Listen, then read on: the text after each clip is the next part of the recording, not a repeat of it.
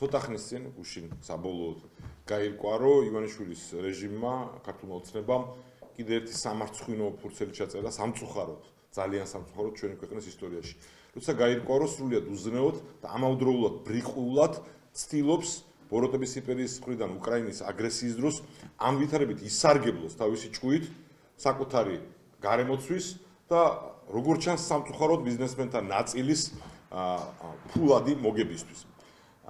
თქვენ იცით რომ ევროპული საქართველოს ჩემპიონატ და ჩვენი გუნდის ხედვა ყოველთვის იყო რომ ჩვენი ტრადიციის გათვალისწინებით იმის გამო რომ სასამართლო დამოუკიდებლობა არ აქვს იმის გამო რომ ცუდი პრეცედენტები გვაქვს ხელისუფლების შეცვლის შემდეგ პოლიტიკური დევნის ჩვენ როდესაც ეს რეჟიმი აღარ გვეყოლება ეს სამართლიანი რეჟიმი და ეს აუცილებლად მოხდება თავი უნდა შეგვეკავებინა და უნდა შევიკავოთ ზოგადად თავი რაიმე სახის მეტნაკლებად მასობრივი პოლიტიკური დევნის გან იმის გამო რომ ამან შეიძლება ისევ ანგარიშტორების სახე შეიძლება იმის გამო რომ სასამართლოს დამოუკიდებლობა თუ არა გაქვს ეს თავის ამოცანას კი ვერ ახდენს კიდევ უფრო აღრმავებს ამ ცუდ ტრადიციას.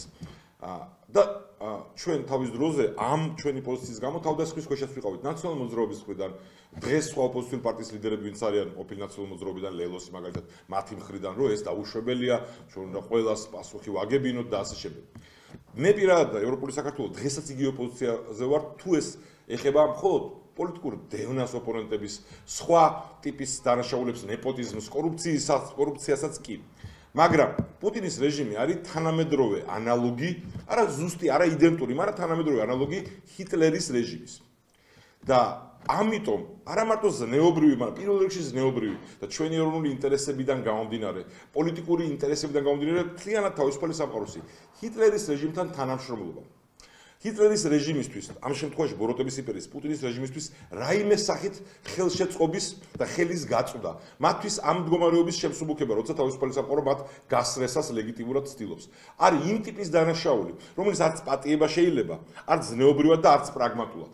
ამიტომ ჩვენი გზავნილია და რასაც გვინდა რომ დღესაც საზოგადოებამ მოისმინოს ეს გზავნილი, მოისმინოს პოლიტიკურ პარტნიორება, მოისმინოს ივანიშვილის რეჟიმა მისმა გარემოცვა. ამ დანაშაულების პატიება ვერ მოხდება და არ მოხდება. ყველა ვინც ნებისმიერი მოტივით, მაგრამ საღიაზრის ფაგლებში გაცნობიერებულად ხელს უწყობდა პუტინის რეჟიმს ამ ვითარებაში. იქნება ეს სახელმწიფო მოხელე, მაღალი რანგის, დაბალი რანგის. იქნება ეს მეწარმე, რომელიც ლობირებდა იმ გადაწყვეტილებებს, რომელიც მას მოუტანდა მოგებას თუნდაც დროებით და ამავე დროს შეუმსუბუქებდა პუტინის რეჟიმს ამ მდგომარეობას. ყველა უნდა დაისაჯოს. თუ საჭიროა საერთაშორისო ინსტრუმენტების ჩარევით და ეს აუცილებლად მოხდება და ეს უნდა ესმოდეს ივანიშვილს პირადად. მის ყველა გარემოცვას ვიმეორებ, ყველა მეწარმეს რომელიც მე შეიძლება იძახდეს რომ იცი რა მე მხოლოდ იმაზე ვფიქრობდი ამ მომენტში ჩემი მოგება მენახა, რაც სხვა ვითარებაში ლეგიტიმური ინტერესია. მაგრამ ამ ვითარებაში, როცა ჰიტლერის რეჟიმის წინააღმდეგ, პუტინის ვოროტების იმპერიის წინააღმდეგ, თანამედროვე ანალოგის წინააღმდეგ ჰიტლერის რეჟიმის არის შეკრული. როდესაც ყოველგვარი პათეტიზმის გარეშე უკრაინაში იღვრება სისხლი ადამიანების, ვინც მათი თავისუფლებისთვის და ჩვენი თავისუფლების იბრძვიან.